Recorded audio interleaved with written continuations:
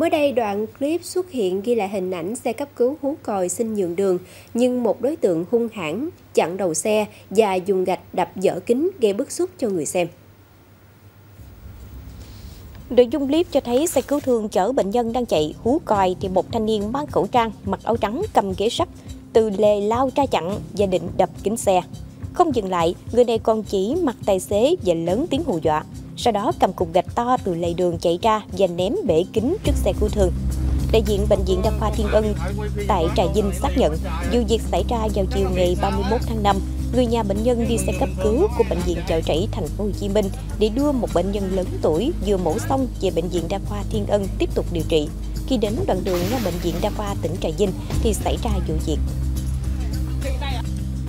Bệnh nhân trên xe cứu thương đang giật giả đau đớn, các bác sĩ phải tranh thủ từng giây từng phút trong khung giờ vàng để cấp cứu bệnh nhân. Hành động chặn xe cứu thương của thanh niên là không thể chấp nhận bởi ảnh hưởng đến mạng sống con người.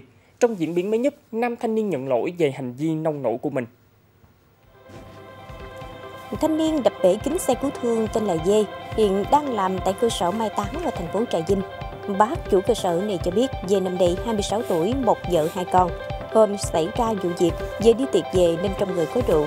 Do không làm chủ bản thân nên gây ra sự việc đáng tiếc. Sau khi tỉnh rượu, người này buồn và hối hận, mong được gặp tài xế xe cứu thương và gia đình bệnh nhân để xin lỗi và chịu toàn bộ kinh phí thay kính xe đập bể.